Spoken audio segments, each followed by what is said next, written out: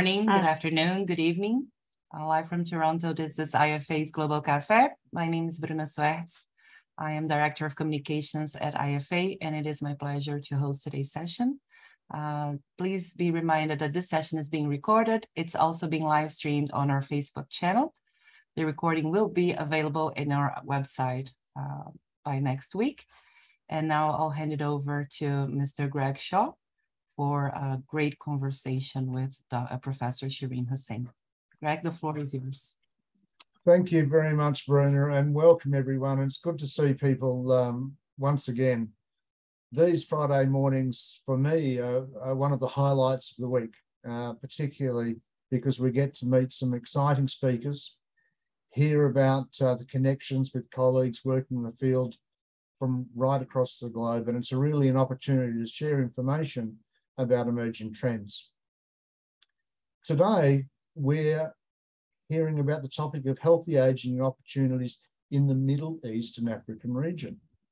Today's speaker is Professor Shereen Hussein, is an established multidisciplinary research leader in population aging, migration, health and long-term care systems. She is particularly interested in health and care outcomes, equity, unmet need, and long-term care planning. Her background is medical demography, statistics, and computer sciences. Shereen is co-director of the UK Department of Health and Social Care Funded Policy Research Unit and acts as a special advisor to the UK Parliament House of Commons Health and Social Care Committee. Shereen has a global presence and regularly collaborates with prominent, prominent international policy stakeholders and formerly acting as an expert advisor to various high and middle income country governments in developing long-term care, aging and dementia policies. It's a really interesting day for me. Um, I mean, I've got lots of interest in the Middle East and, and I'm really interested in hearing Shereen's perspective about what's happening in the region across the Middle East and Africa and are the things that we can learn from? Are there things that need to be further developed? And it's particularly in the context of these countries have, have a, don't have a high population rate of older people. Um, it's predominantly younger people, but those changes are occurring um, over which probably will be a short period of time. So I'm really interested in hearing our discussions today. I would encourage people to start putting um, questions in the chat box um, as they think of them, and I will moderate those discussions um, and chats after Shereen has finished her presentation and talk. So Shereen, it is my pleasure to introduce you to our Global Cafe audience this morning. So thank you. Thank you, Greg, and thank you every, everyone. It's a delight to be invited to speak today. Um, and I'm, I'm really going to cover a um, very small portion of a very big topic. Um, so I'm going to try to cover what is happening in terms of uh, changes in terms of aging population in the region, with a focus on the area of healthy aging, which of course is, is a huge topic. Um, so just to start, um, and thanks Greg for pointing out, so the region has been for a very long time historically been known as a very young uh, region, um, the, the median age is, is quite young. Uh, the policy is dominated by issues of younger people, uh, youth, unemployment, uh, children, uh, education, children health, um, and so on and so forth. Uh, but of course, there are other shifts happening, and it's it's it's something to be celebrated that we we now across the whole globe, um, the life expectancy is changing not only life expectancy at birth, but life expectancy at older ages as well. So life expectancy at age 60, for example, uh, has been um, increasing, including in the region. So while, you know, demographers speak about the whole structure of the population and, and they talk about whether populations uh, are already aged or aging or still young um, in relation to very static um, uh, you know, grouping of the of the population according to age and arbitrary points. So we we decided that above 60 uh, is, is old or above 65, and and and and and of course we we have we all have concerns about these cut cutoff points, but from a demographic point of view, we have to find a point to say, oh, how, how the structure is looking. Um, and usually we look at this whole structure and say, perhaps after a certain percentage of this group that we think they are older people. And of course, our thinking was guided by um, a framework of static employment. So when are you kind of economically active when you go to retirement? Um, so the, the, the, the, there are very kind of magic figures of 7% of the population is above uh, 65 or uh, 14%. Um, and and we, we judge where these countries are um, in these kind of scales to say the whole population structure is older because there is a kind of a big significant proportion uh, of older people. So at the moment, the region is still at the early stages of that. There are countries in the region that has already gone beyond this um, starting point, if you want to say, which is the 7%. So countries like Lebanon, Tunisia have already started this. Uh, but other countries are still uh, moving towards this. Um, and of course, this is great that people are, are living longer, but we also have to remember in the back of our minds that not all additional years are healthy years.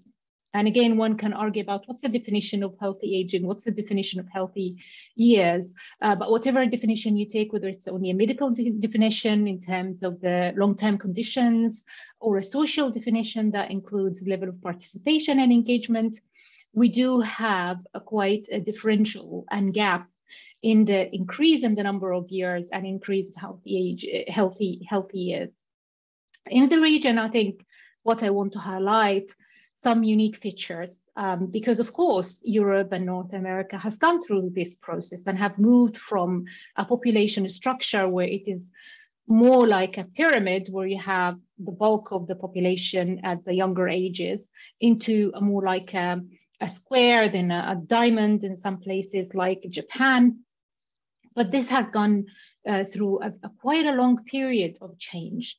What is really fascinating about this process in, in the region, uh, due to uh, traditional high level of fertility rates um, and, and a quick change in, in, in infant mortality, that we're seeing this speed, you know, quite fast. It's almost like a speed, um, you know, kind of a, a speed race so we think historically, like countries like France and England took between 100 and 150 years to move through these stages of aging into aged populations. And we look at the region and we see countries that are going to do the same process in something like 12 years. And of course, this is too fast, too fast a process, not only in terms of reorienting policies, but also in changing in population minds, in people's individual minds. What do they think about aging? How do they see themselves uh, as older person? Where is the position of the older person uh, in the society? And to, to, to link this back, uh, I have to give you a bit of background and context and on how the society generally works in, in the region. Obviously, there are uh, differences, but uh, what you can observe is, is, is um, a huge level of solidarity and connectedness and interdependency um, I'm thinking about family units, thinking about duties and sacrifices uh, and responsibilities. Um, so the relationship between parents and children is a relationship of obligations and duties. So obligations from the children, duties from the parents. They look after uh, their children uh, for quite a long time. So it's common, uh, it's not uncommon for people to remain um, kind of um, dependent on their parents uh, until their early adulthood, maybe to the 30s. But at the same at the same time, uh, there is there is valuing of older people. So you know, kind of older people are those are the wisdom of the society. Uh, they also have the rights that we respect them. Um, but but this is all great in terms of the narrative and in terms of the intention. But when you think about this process is changing too fast, and instead of having very few people uh, kind of in that category, we're having large cohorts entering in this category, then the exact application of what does it mean, what does respect mean to older people and opportunities mean to older people becomes very unspecific to the point that it can be counterproductive.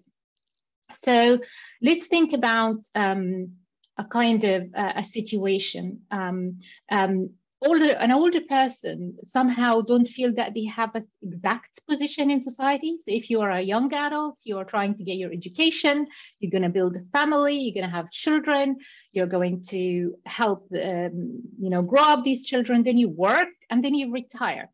And then becomes a, a bit of a black hole. So within the society, there is no clear idea of what that person after retirement will look like beyond maybe being a grandparent and looking after your children and, and becoming part of your, um, your, your family. Now, many things are happening at the same time, in addition to the population aging, the whole societal and demographic changes. So the whole um, context of uh, families living near each other or uh, living in, in close proximity, uh, migration, uh, the availability of the other members of the family is all changing. And, and, and people are finding themselves in new context in their um, in, in their you know later years of life. Um, and then also they, they in many cases, um, their expectations even from themselves is not shaped very well. Um, in addition, when we think about uh, as the countries as a whole in terms of the structure, the system is not really geared to providing opportunities for older people to participate. So then a big question becomes um, within this narrative of respect and treasuring and valuing, what is the real applications of these concepts?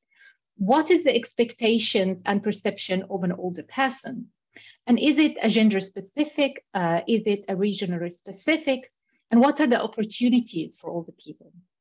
I talk a lot to many um, to, to many informal carers or family members and older people in the region. And almost always the, the, the issue comes from older people is I am capable of doing a lot of stuff, but my family think that my role has changed. They try to help me too much to the point that I don't find my voice. And I think this is very important because especially when we think about healthy aging and we look at the existing frameworks around what constitutes health, we found that a big role is engagement and participation and feeling valued and feeling having a purpose. And if you take this out, there is a huge impact on the cognition, in the well-being, in the mental um, and psychological well-being of a person. Hence, in addition to the bigger picture of policy, there is a very important agenda to do with the social perception of aging. Um, and I find this to be crucial, particularly at this stage of uh, demographic shifts. So we are entering, these countries are entering into aging. They still have a little window to prepare. Uh, the majority of them will be on the swing of change um, in the next decade. Some countries, as I mentioned, have already started this process, but the majority of the countries will start in the you know 2030, beginning of the 2030 decade. Um, so as important as we think about the social policy elements of aging and population structure, structures, it's also really important to think about the sociological elements uh, of aging and really capitalize on what is good what is good in terms of concept and narrative and ideas, uh, but materialize it with, with practical examples. So this is even in the case of people who are, you know, in their, you know, have very good health uh, outcomes, uh, but they have um, finished their employment, they retired. Uh, of course, you have to put this in a context where retirement age is not um, is quite low in the region. Uh, there is differentials between women and men uh, and whether many women were actually participating in the formal labor uh, economy or not. Um, but even for those who still have um, ability to provide and ability to contribute to the society, the opportunities and access to opportunities is very limited. Um, and that is not because people don't like older people, but it's because governments is so occupied with, with the agenda of younger people. Because this is the, another unique feature of what's happening in the region. So the first unique feature is the speed, if we think about it uh, compared to Europe and North America. The other one is the parallel changes with aging along with what we call population dividends or the youth bulk. So you still have a big group of younger people who still have needs to be met by the state in terms of employment opportunities, in terms of educational opportunities, in terms of social protection. This hasn't been seen, uh, you know, in Europe. Europe has been going through this much slower uh, change, and now we're facing different set of problems related to the shrinkage of the working age group. So we can see this as positive or negative. So we have capital cues. So we have, you know, this region have, um, you know, the youth resource, the power of change. And at the same time, they're retaining a lot of wisdom and a lot of experience coming from the older cohort that is going to stay. Uh, so it's a matter of how you link the two in terms of policy development how to think about the needs of the younger population as well as the needs of the older population. And that's a challenge. Uh, so this is this is a, a, very important point to to highlight when we think about um, aging in the in the Middle East and Africa. The other point that I wanted to to highlight that not everybody, as I said, when they grow older, they grow older healthy. In fact, one of the success that the medical advances that we can actually live with disease for longer. So the period where people can endure long-term care conditions uh, or, or long-term uh, needs is prolonged. And that's, the, that's a very big issue in, uh, in countries where it's not prepared for that sort of services. So the long-term care market is very weak in the region. So although that there is a lot of you know development in the healthcare side of things in terms of uh, investment in in educating doctors and nurses and building hospitals, the whole sector of long-term care, even as an idea, is still very very weak.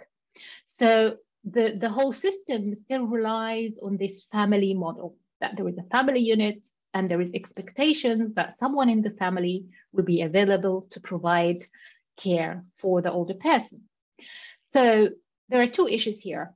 One, that it is not always the case because as as this has been happening, there has been other demographic shifts. People have fewer children. A lot of uh, the new generation have migrated either internally or internationally. Uh, so displacement in terms of geography. Um, there is also the, the, the way that people lived together and close together has changed. So the actual ability of the family to provide care uh, is, is not always there. Um, and then there is the point of willingness uh, to provide care and their um, how they can provide care in the right way. So if we don't know what care means and what are the components of independence and empowerment mean, then uh, there are a lot of questions about what the sort of quality of life for an older person could be. In addition, um, that means there is a huge care burden on the family, who majority are women, either daughters or daughters-in-law.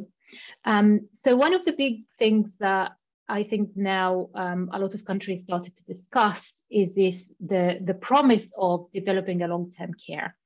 Uh, so while the countries and policymakers are discussing, when there is a need, something happens. So what is happening now that there is a space where unregulated, unorganized care provision is emerging. So service, private services are emerging that is not regulated, that are not planned, uh, that there are no standards, um, because there is a big need. People who need to be cared for. Perhaps their families can afford to buy these services, uh, but there is no um, regulations about it. And obviously, there is no trust in these services. And here, there are concerns about uh, the type of care people can receive, issues around mistreatment, issues about abuse, etc. But thinking about it from the other side, then, and linking back to the youth bulk and the, the high level of un, unemployment, particularly among women, perhaps this is an opportunity. So this is an opportunity, an economic opportunity to develop a strong market that is shaped on the correct principles. So taking the romantic and, and abstract idea of treasuring, but translating it to actual uh, process and actual principles that actually harness the issues of dignity, of person-centeredness, and of independence, and then develop a strong market that can be supported by the state. So then that will create uh, labor uh, economy opportunities and will create um, a, a, potential solution for some, not all, of course, because of the cost and because of poverty rate. But at the same time, one should think about, and, and countries and states and organizations should think about the, the, the actual resources that older people can bring. So if you think about very large cohorts coming into old age, um, we can prepare people, we can create opportunities for engagement, for involvement in the wider society. So of course, the role of grandparenting is important and uh, older people still provide financially and emotionally and socially to their, um, to their younger children. But they also have the right to have the thing that they like to do um, available for them. So the idea of interdependency, but ensuring that people have choices need to be introduced and need to be enhanced and given fertile grounds to be developed.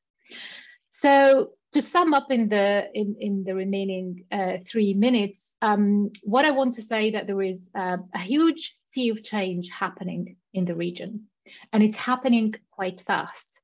And it's happening within conditions that we haven't seen previously. There is no uh, blue um, book, there is no blueprint to go back to it and say, oh, this country has done this, because it hasn't happened before we haven't been in a situation when we have uh, youth bulks, uh, pressures on the society, um, and also um, increasing and large cohorts. We have to think about countries, for example, like Egypt, which is over 100 million, and think about the, the, the size of the cohorts that are entering uh, old age.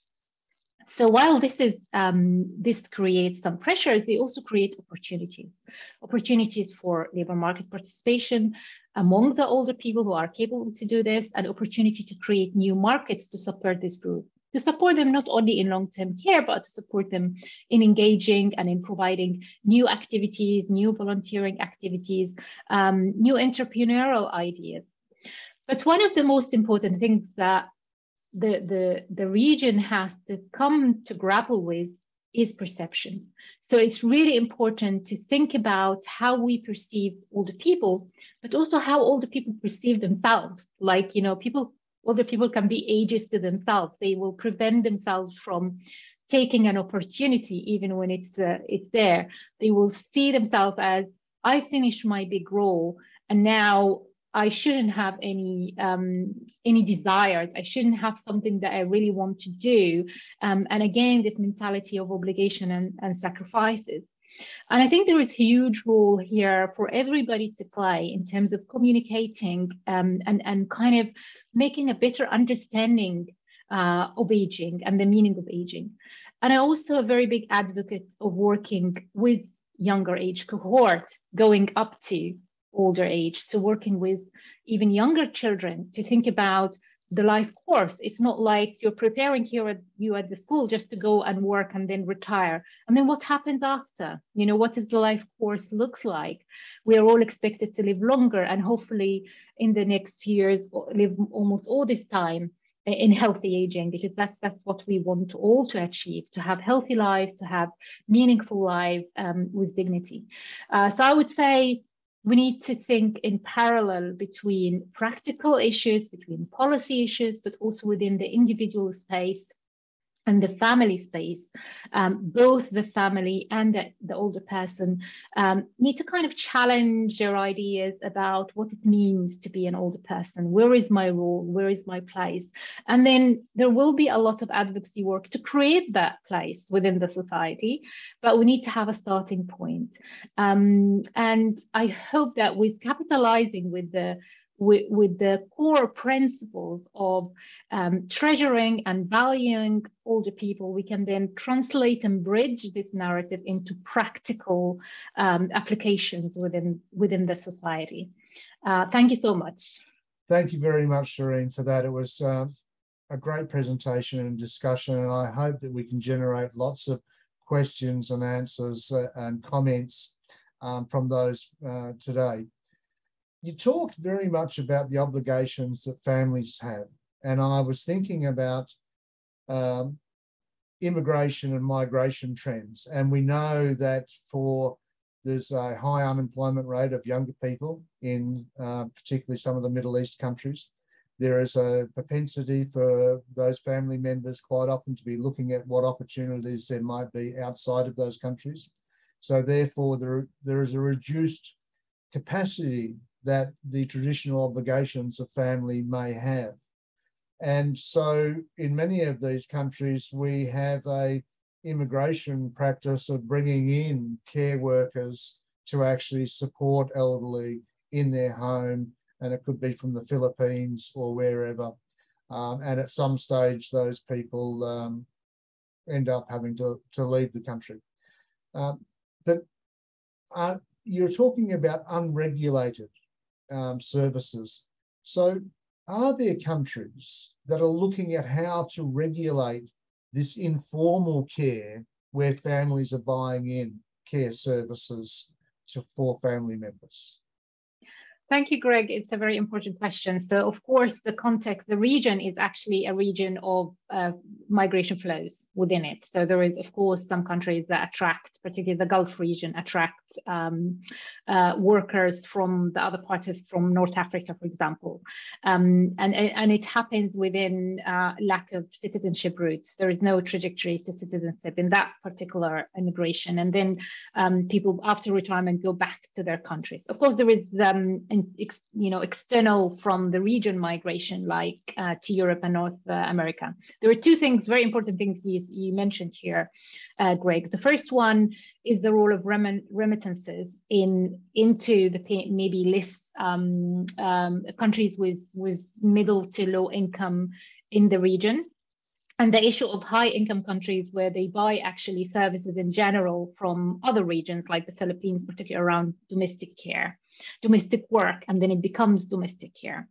So what is happening now, and, and, I, and I highlighted that, not highlight, just mentioned that very quickly, that in countries like Egypt, there then uh, there is a capital so there is remittances, people need care, and there is a capital available to purchase care, but there is a gap in the market right? So then people will tend to uh, have a, a, domestic worker, whether live in or someone who comes every day, and provide a little bit of care uh, around that. Now there are some companies seeing these opportunities and offering, um, uh, in general, to quite a high price per month, someone to come to look after that person. Um, in some countries, there is very initial steps by government to try to recognize that. So in Egypt, there has been an initiative that is started, I think, a couple of years ago by offering training opportunities for unemployed young people to train as long-term care uh, workers. Uh, and then working with uh, uh an NGO, a charitable organization, to place these workers uh, with older people. Now, this was a very modest initiative. I think they managed to train 50 persons and only half of them remained. Um, so, so there was some recognition, but there is no high level at this stage um, kind of overview of the whole market. So yes, there is some recognition recognition that this has to be something has to be done about that, uh, but there is no system of regulating that. There is no standards of kind of thinking about this. Uh, some countries in neighboring uh, regions, like in Turkey, so Turkey obviously is um, half, you know, European uh, Asian country, but there is a lot of similarities with the region. Uh, there is some standardization that has been uh, introduced for workers who are employed by the government. So, and that is mainly in residential care, uh, etc.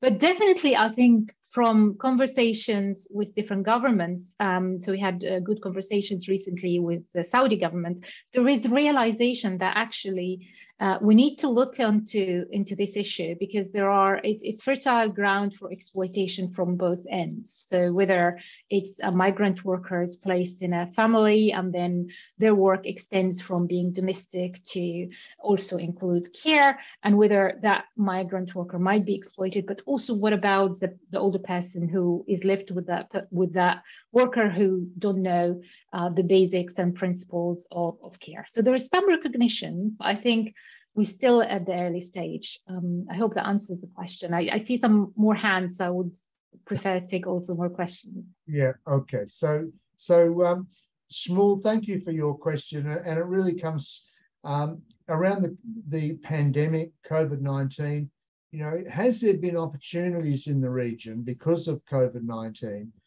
uh, around improvements in healthy aging among poor, particularly poor and low social economic groups um, in the Middle East and Africa.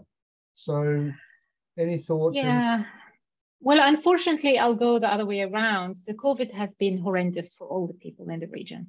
Yeah. Um, because um, with the curfews and shielding and fear and lack of vaccination, um, what families did to protect their elderly is to ask them not to go out and to remain at home. And we, so um, obviously there are no statistics, there is some uh, qualitative research and anecdotes that in fact that has led to worsening conditions and quality of life. So obviously at certain age, um, deconditioning is a real issue. So if you don't go out for a couple of days, you, you, you know, if you don't use your muscles, you might lose them. Uh, and also, you know, cognitive kind of um, you know being alert uh, having your routine uh, doing what you used to do every day um, and feeling of fearing because once you stay at home for three months when it was at one point that this you know or more you fear going out. So older people started to feel that they are fearful um, and the response to uh, common colds or, or, or usual minor health conditions has been much worse.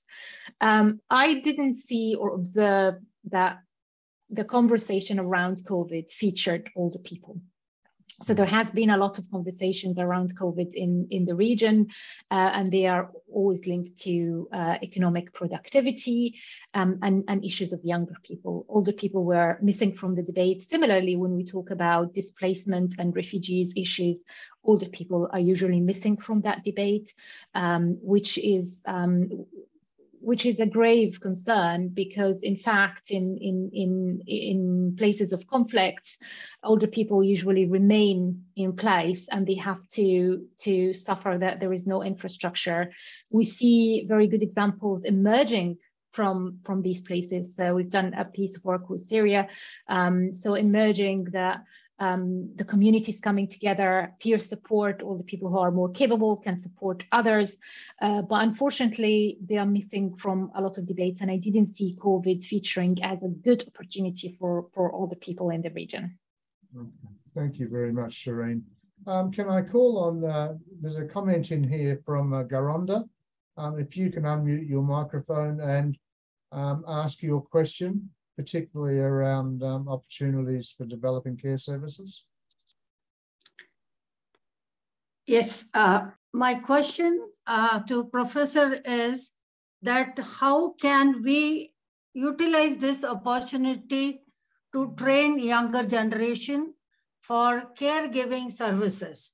One thing, family caregivers are reluctant because they are not getting payment for their services, even if they work 24 hours a day.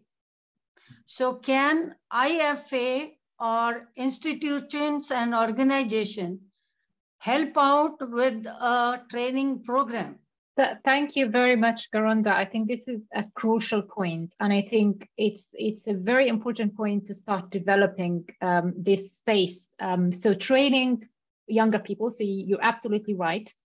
Uh, there is a capacity here. So it's not like Europe is, is actually struggling with the capacity issues, the supply issue. There is no workers, nobody's getting these jobs because there is no supply. We have supply, you know, the region has a lot of supply.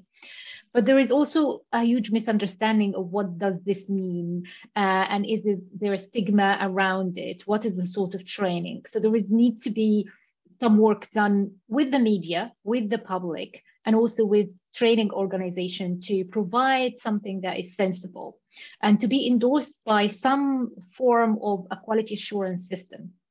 I am aware that um, some big organizations um, that you know aims to develop capacity so whether through dementia care so for example um, you know uh, alzheimer's society international or help age and others like the INEA they try to build capacity and provide training program that is tailored to uh, low and middle income countries, including uh, the Middle East. I think there has to be support from the state. So you have to work with NGOs, but there has to be an endorsement by the state, a recognition that these issues are really important we like we encourage um, and I, I, would like to parallel this perhaps when we think about maternal care and then the shift that we recognize the informal um, you know kind of or the, the health the, the birth attendants who are not really qualified health professionals but recognizing their role in the community and then providing them training and how that have have shown in many countries as a very important policy in kind of employing the community uh, capital. Uh, so, so if we get an endorsement from high level. We start from big uh, international organization, whether it's the WHO or the UN, to recognize this as, and, and this is happening actually. So there is a lot of documents and um, recognition that long-term care markets are opportunities. Then we need some backing and some facilities um, and some subsidiary to, to get people encouraged to go and even supporting them in the, in the first stage of finding employment because the public uh, don't have the trust. There has been uh, a recent uh, poll in, in, in Egypt where they asked informal carers, they say, would you rely on uh, someone who are paid? And they were like, uh, we need someone who are paid, but we don't trust them because we don't know whether they are well uh, educated or they're going to look after my mom with respect. So there is a bit of trust bridging as well. Uh, so definitely, I think everybody has to come together, but there has to be a top-down also kind of emphasis that this is really important, so it is materialized. Yeah. Okay. Thank you, Shereen. Um, thank uh, you very much. Yeah. Thank you. Um, Philippa Mohar has uh, posed a question, and and it really is around um, practical experiences in African countries. Philippa, are you there? Would you like to come forward and perhaps you could explain where you are, from who, uh, and what the issues you see are? Philippa? Hello, um, thank you so much, Greg. I'm from Nigeria, but we have a care issue. We have the, our people are getting older and um, they're being kept away. The older people are being kept away, you know, just in the background, maybe occasional grandparents. But however, as Prof said, the, the, the, the migration is so much and that You've muted yourself, Philippa. Hello, hello. Yeah, you're on. The political experience from Prof of African region, any country in the African region that has really gotten into these um, opportunities, like seeing long-term care as an opportunity and investing in it so that we can take it as a seed pilot project for us to say, yes, this country in Africa is doing this. That's what I want from Prof. Thank you. Thank you, Philippa. I will give you an example. So I am completely aware of the situation and I've been doing some work with Zimbabwe and um, actually working with Zimbabwean care workers in the UK who left Zimbabwe to work in care work and then they left care gaps at home. Uh, but I also will draw on another project in Kenya where we were trying to develop some dementia strategies. So I think there are some activities happening, not at the national level. Um, but there are some recognition. So Help Age International, particularly in the in Kenya, have been doing uh, a lot of uh, awareness raising. So dementia, particularly, there is a huge stigma with dementia uh, in Africa. Uh, there, there is kind of lack of understanding of what the disease mean and um, linked to perhaps uh, you know witchcraft and um, and other sorts of uh, perhaps um, unhelpful uh, uh, narrative.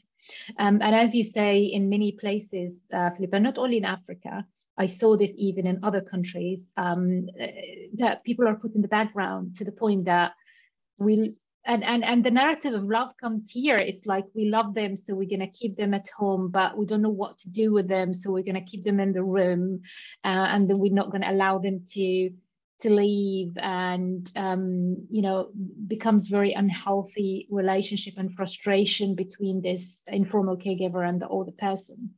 Uh, all what i can say that there is a little bit of work going in in africa. Obviously africa is one of the youngest um, you know, regions in the world, um, and they are going into population aging a bit slower because generally the life expectancy is not as high, but also other trends.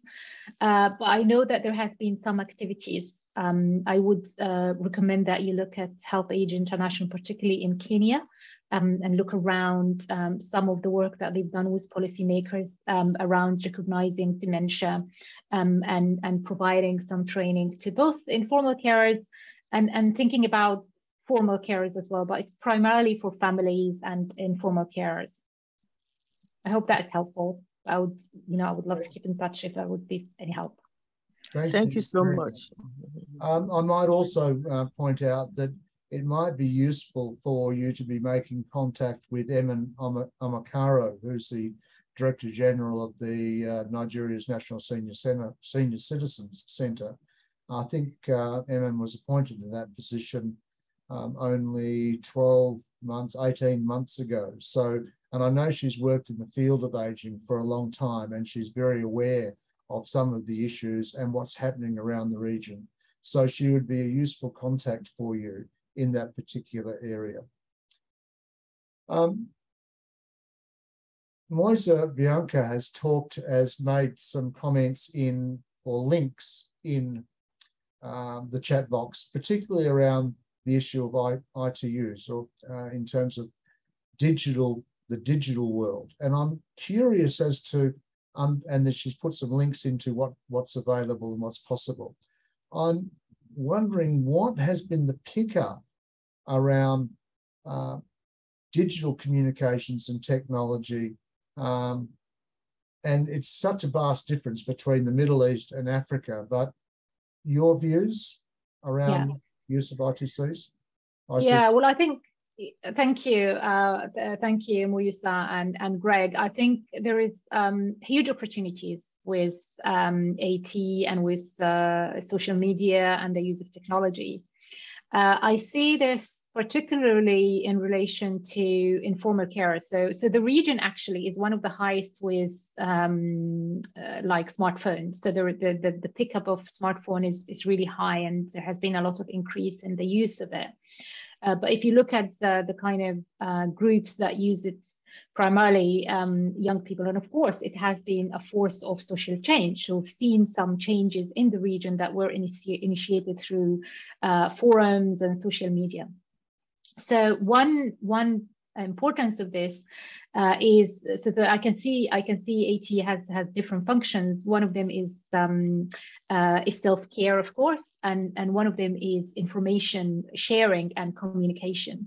Um, and there has been some initiatives to look at um, if there are informal carers, how can you provide them uh, with knowledge, with adequate knowledge around certain um, conditions at old age uh, activities. Uh, how can people can uh, organize themselves themselves and communicate their needs.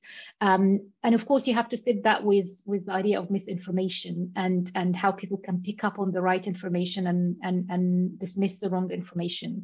Um, and how can you provide people with the right tools to be able to do that when it's a whole new uh, area? So are you sure that you're, up, you're able to pick up the right source of advice that has been shared? So that's an important thing.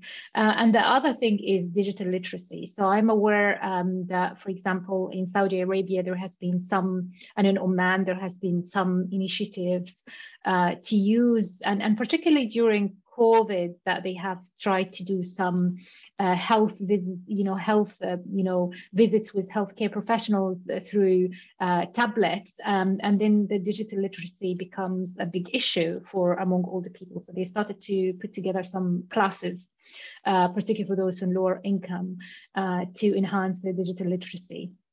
So I think an, an important element with this is empowerment. So when I talk about, for example, self-care, you have to empower people to be able to take steps to care for oneself, to value that the remaining life that you have is important and is valuable, and you have to look after it rather than think about this is okay, this is the end of it.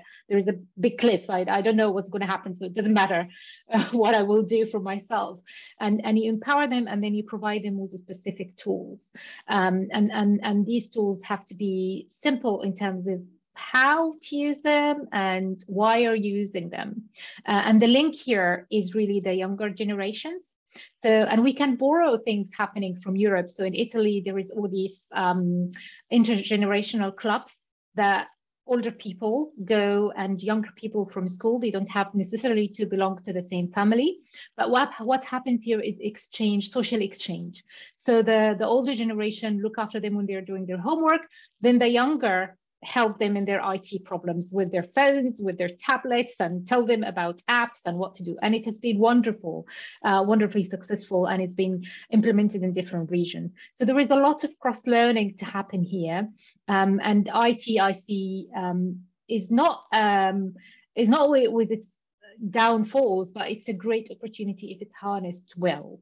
Uh, the main concern would be misinformation and there is a lot of work around that, um, particularly when it comes to health. Yeah. Okay. Thank you very much for that. Um, a couple of people have had um, raised hands, and I just want to remind people um, what the preference is to put things into the chat box. But I know, Catherine, you had your hand raised a little bit earlier, so please come forward. Thank you. Two quick questions, or really more comments. One around regulation, one around advocacy that's been brought up. And I remember, Greg, how you talked about how important it was in Australia to have regulations around caregiving support affect equally the quality in private as well as public facilities. So I wanted to remind people of, I thought that very important comment.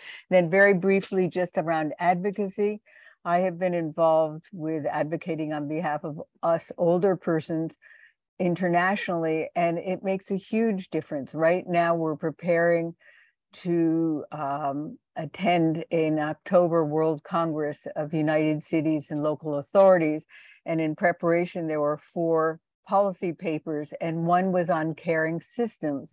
And together with our partners in disability, we totally changed their perception, which initially was the prevailing misunderstanding that we are beneficiaries of somebody else's determination of care to rights holders with our own independence and advocacy. So I just want to again remind, I don't need to remind any of you, you're all advocates, but one person or to collectively with other one persons can make a huge difference. Thank you. Yeah, thank you, Catherine. This is a very important point, and I think it's really important that people from the region themselves, all the people, to speak about their needs. And I think uh, uh, um, an important step to empower them and to reach out for them. And I think um, um, um I founded um, a network uh, a few years ago called uh, the MENARAH Network, which is a Middle East and North Africa research and health aging. And the first thing we started with is to get people on camera older people themselves to speak about their experience. What do they feel that they need to happen? What are their aspirations? What what would make them happy? And to get that in in, in like a video and put it on the platform. Um, and I know that the WHO and Help Age, um, particularly WHO, they have this voices um, kind of forum is to bring the voices of older people themselves from different walks um, to give the story life because we're not talking about uh, subjects here. We're talking about individuals who have desires and they have their own will and they have their choices. Um, and also perhaps in some region we need to empower them to make that these statements to tell them that you have the right you have the permission to speak about yourself uh, not only about your family or not only about your role within the family. What are your own aspirations? What do you want to do um, in this phase? And, and this is really important because this a lot of this group, when they were growing older, when they're like in their early childhood, life expectancy was around 60. Now they are, when they age 60, the remaining life expectancy is 20. So they have another 20 years to live that they haven't really thought about when they were growing older. They were thinking, oh, life ends there. You know, this is this is and this is the speed of change. This is why it is so important that people haven't really developed this process. Um, so absolutely, you know, advocacy from people themselves and from their informal carers is, is so powerful um, and can lead to change. So yeah, thank you. Thanks very much, Catherine. Thank you, uh, Shereen. Um, I know Lona uh, Lona Rogie had her hand up, but she's also posed a, a question and comments in the chat function. Lona, do you want to come forward and make your comments and questions? Sure. Thank you um, so much, Professor. I'm actually doing my PhD at Northwest University in South Africa on how can we leverage the capabilities of unemployed youth um, as trained and paid caregivers to provide long-term care for older persons. So what you've been saying has been really talking to me. One of the comments slash criticisms I do get is because this would most likely target unemployed female youth just because of the nature of care, that it is regendering care. Um, I do not personally see it that way. I think it is just an we have a great need for em, employment in Africa. We're a young continent, and um, there you cannot address the two separately, or at least that's what I believe. But I'd just like to hear your comments and thoughts about this idea of the strategy potentially regendering care and how we prevent that. And again, thank just thank you so much for your presentation. Thank you, Lorna, very much. And I'm so pleased you're doing this PhD. This is the sort of thing that we need, evidence and knowledge that we can speak, uh, you can use to speak to policymakers. I think we cannot separate care from gendered work um, across the globe. And I think this is one of the one of the key concerns even in, in, in developed uh, nations and already aged uh, populations like in Europe and, and the States, that care, even if it's paid, so even if it's formal and paid, still remains in the mind of the society and policymakers as something that is women's work. Women's work that they would do because they like doing uh, and they will continue doing even if it's um, you know very poorly paid or the working conditions are difficult. I think starting in, in countries like Africa and the Middle East, there is a great opportunity to rethink this agenda uh, and try to see how we can uh, think about gender differently and, and, and what are the, the opportunities there that lies for all for men for women as, as a form of employment and also thinking about the different types of needs that people might have and and you've got older older men, older women, you've got people, um, you know, with, with disabilities who've gone into um, adulthood that might need care. And also think about it more professionally. So when we think about the job, rather than it is um, it's an inherently women's job and they do it without training and they just know how to do it but think about it as a profession and putting setting standards and um, and kind of education training that is required uh, then we will be able to engage with the generation. Uh, one of the things that I liked about the initiative that I saw in Egypt, that it's actually the, the 50 people that they have trained were almost half and half women and men, which was really interesting. And again, the attrition rate was not very gender diverse. So it's a small, small numbers, but actually men were attracted as well, equally in low numbers, but um, this is a good start. Um, um, and I and I think this is a process because it's it's have been long engraved. But I, I would look at it as similarly to what happens with childcare. So childcare now is very acceptable that men can enter childcare care. They can be uh, nursery nurse um, or can be um, a children nurse. Um, and, and but this process has taken a long time, but we separated a bit that it's not like women need to go back to work um, and I think also we can make the same argument for long-term care. We are draining the society from a group of women who are there in mid 40s, in the mid 50s, who are in the peak of their economic uh, productivity. They can't continue working in employment because they have to care for their parents. So we need to think about that as an opportunity for formal training, for attracting um, unemployed young people, whether men or women. Uh, but it's, it, it's a process. It's not going to happen over the time because how it has been developed across the globe, really, in, in the thinking about what cares entail. Thank you, Shereen. Um, and when you were talking about the videos that you did of older people, it reminds me of a project which Bruna has responsibility for. Um, and I think you will need to be talking to uh, Shereen uh, Bruna around we are doing what's called a vanishing project. It's about the stories of older people, and Bruna is is developing that and will be running that. So I'm sure you and her will have lots to talk about. I know we're getting very close um, to the time, and I want to uh, give you the opportunity to make some closing remarks. And there was quite a few questions that we didn't get a chance to talk about. And I know Francis, uh, you were asking about your, the views that Shereen has on government reporting on the fourth review of the implementation of uh, MIPAA. Um, and Bill uh, Smith, you were asking um, how is the region being impacted by technology in the care of older people? So perhaps when you're summing up, you might respond very briefly to those two questions but I would also like to um, point out that I want to invite you all to next week's Global Cafe. Um, and Bruno, if we can get that up on the screen. So next week, we have one of the IFA directors, Mr. Aok Christian, who is lives in Japan with his beautiful family, but originally from Cameroon.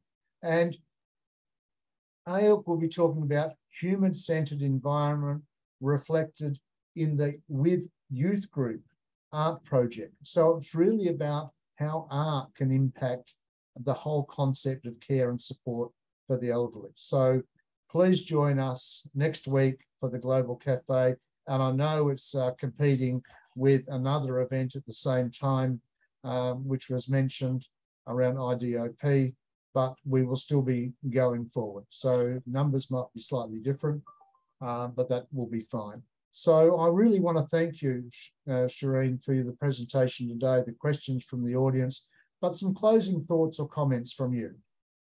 Yeah, thank you so much. I'm not going to take long. I think the closing comment that it's for me, it's an exciting phase. It's really good to celebrate longevity it's a huge opportunity that um, a huge number of people are entering into um, a very exciting phase of life uh, because you have less, uh, you know, kind of um, responsibility. You need to think about um, yourself a little bit more. Um, but I mean, there is a lot of work to be done. So I'm, I'm glad somebody brought up MIPAA. Uh, it's again, it's the 20th anniversary of, of the of MIPAA, and it's a big deal. And and countries in the region have been responding, and I think it's a reminder to this is a very important topic. Uh, they, the, the UN Decade of Healthy Aging is also a very good reminder and space for us all to work uh, towards achieving better quality of life for older people across the world. Um, and I thank people for coming today and for allowing me this platform. And I hope to really to continue the conversation. There is so much to talk about, uh, but I hope that today I've, I've given you some, uh, just a glimpse of what's happening um, in the region in terms of aging. Uh, and thanks again. Shereen, I, I really do want to thank you. It was a great presentation, and I know there'll be lots of uh, people reaching out to want to make contact with you. I know Bruna will want to follow up, particularly around the Vanishing Project. Sure. And um, I thank you all. I look forward to seeing you all next week. And please join with me in thanking Shereen. So thank you. Thank you. Thank you very much.